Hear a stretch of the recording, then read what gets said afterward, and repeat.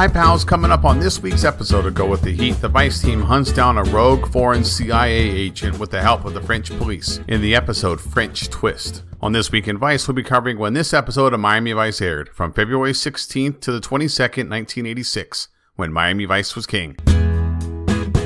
In news, on February 20th, the Soviet Union launched the Mir space station into low Earth orbit. As the first modular space station, it would gain additional components from various other missions until 1996. The Mir was continuously inhabited and welcomed scientists from several Asian, European, and North American nations. The Mir space station would eventually be retired and would make Earth re entry on March 23, 2001, after spending 5,510 days in orbit and 4,592 days occupied.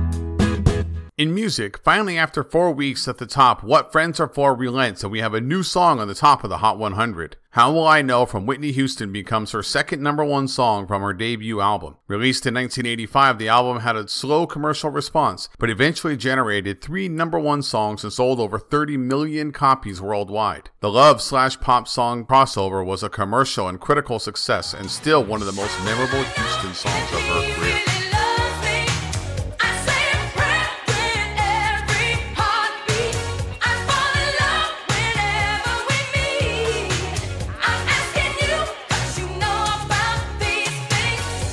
In movies, Down and Out in Beverly Hills will hold on to the weekend for two more weeks, but that's alright with me. This will give me a chance to talk about the amazing, fantastic Chuck Norris movie, The Delta Force. Starring the one and only Chuck Norris and Lee Marvin in his final role, the film is a mess in all the right ways. Not only panned, but despised by critics, the action movie still finished third in the weekend behind Down and Out and The Color Purple, but it finishes first in my heart. I love bad movies, and the 80s is full of them.